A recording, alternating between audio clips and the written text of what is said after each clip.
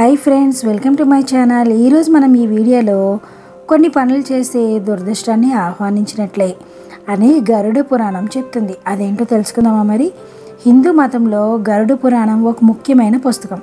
విష్ణు భక్తి గురించి ఇందులో వివరంగా చెప్పారనమాట అయితే ఒక వ్యక్తి మరణించిన తర్వాత గరుడ పురాణం పఠించడం ఆత్మకి మంచిదని లేఖనాలు చెబుతున్నాయి. అయితే ఒక వ్యక్తి జీవితానికి సంబంధించిన అనేక విషయాలు కూడా గరుడ పురాణంలో ప్రస్తావించబడ్డాయి. గరుడ పురాణం ప్రకారం ఒక వ్యక్తి తన జీవితంలో చేసిన కొన్ని తప్పులు తన అదృష్టాన్ని దురదృష్టంగా మారుస్తాయి అన్నమాట అవేంటో చూద్దాం. ఫస్ట్ది సంపద కలిగిన గర్వం.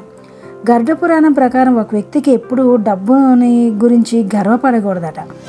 ఏ రకమైన స్వీయ వ్యక్తీకరణ ఓ మూ మూర్ఖత్వం అనేది తెలుపుతుంది. అది ఏంటి అంటే డబ్బు ఉంది కదా అని ఇతరుల్ని అవమానించడం ఎవరినైనా సరే చులకనగా చూడడం అది పాపం అని గరుడ పురాణం పేర్కొంటుంది.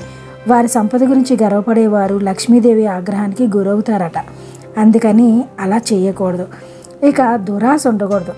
గరుడ పురాణం ప్రకారం ఇతరుల సంపద నిఘా ఉంచి అయితే ఎప్పుడు సంతోషంగా జీవించరు వేరే వాళ్ళ సంపద చూసి ఈర్ష్యపడేవారు ఎప్పుడూ ఆనందంగా ఉండలేరు. డబ్బు కోసం అత్యాశ మరియు సంపద ముసుగులో వచ్చేవి అంటే చెడు పనులు చేయడం వల్ల ఆ వ్యక్తి సంతృప్తిగా ఉండలేడు కూడాను. ఇక ఇతరులను అవమానించడాలు. ఒక వ్యక్తిని కించపరచడం లేదంటే అవమానించడం కూడా గరుడు పురాణం ప్రకారం అది చాలా చెడ్డ ఫలితాలని ఇస్తాయని చెబుతుంది. ఇక మాసిన బట్టలు ధరించడం. ఎప్పుడు శుభ్రమైన దుస్తుల్ని ధరించాలి. లేదా మురికి బట్టలు మాసిన బట్టలు ధరించిన వారి దగ్గర లక్ష్మీదేవి ఎప్పుడూ ఆశీర్వదించబడదు ఉండదు. కాబట్టి మురికి బట్టలు పేదరికానికి చిహ్నంగా భావిస్తారు. కాబట్టి ఎవరైనా ఎల్లప్పుడూ శుభ్రంగానే ఉండాలి.